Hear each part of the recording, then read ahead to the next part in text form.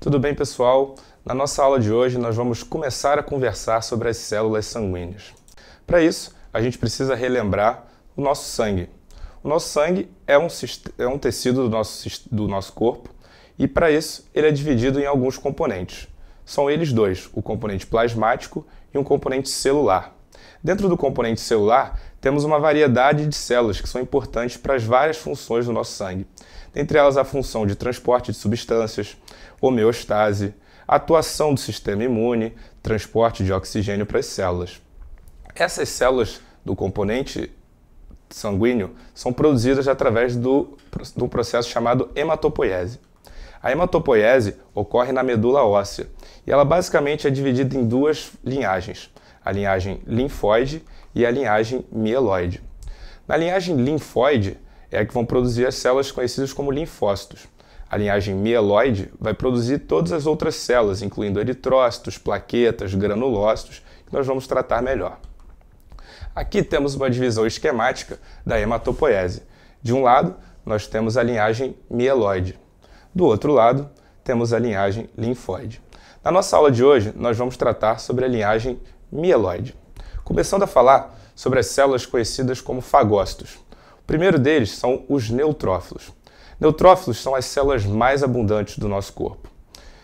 Como podem ver, seu núcleo é multilobulado, apresenta de 3 a 5 lóbulos. Seus grânulos contêm algumas lisozimas, que são enzimas destrutivas a outras células do corpo. Ainda na classe dos fagócitos, nós vamos começar a falar sobre os monócitos e os macrófagos, que basicamente são a mesma célula em diferentes estágios de maturação. O monócito está presente no sangue, enquanto o macrófago está presente nos tecidos. De acordo com o tecido em que o macrófago está presente, ele recebe nomes diferentes. No fígado, por exemplo, é chamado de células de Kupfer. Na, no sistema nervoso central é conhecido como célula da micróglia. Já no nosso pulmão é conhecido como macrófago alveolar. Essas duas células têm a função de ingerir e matar outras células através da produção de espécies reativas de oxigênio e algumas enzimas. Além disso, ingerem células mortas e corpos estranhos. Produzem citocinas e fazem ativação endotelial. Além disso, outra função importante no nosso sistema imune é de funcionar como células apresentadoras de antígenos. De acordo com a ativação desse macrófago, ele pode sofrer uma ativação do tipo M1, onde vai destruir as células, ou ativação do tipo M2, onde ele vai atuar no reparo tecidual dessa inflamação.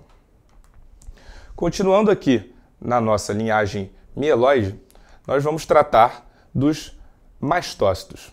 Os mastócitos são células que estão pouco presentes na circulação. Estão mais presentes adjacentes aos vasos, nos tecidos.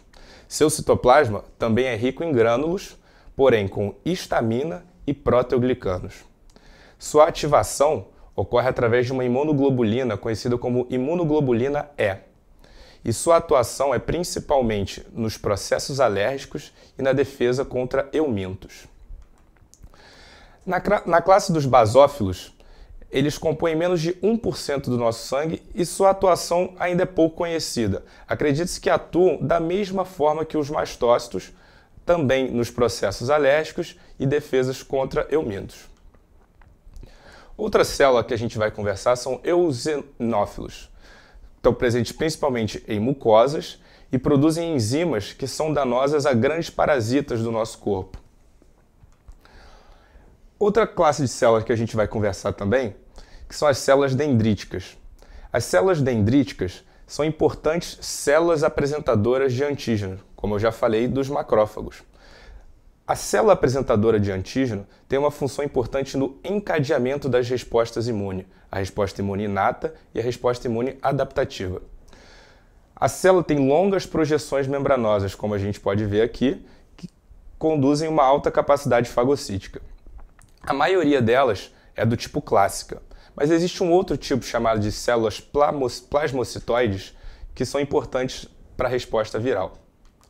Ainda na classe dessas AP6, é importante a gente relembrar que os macrófagos são importantes AP6.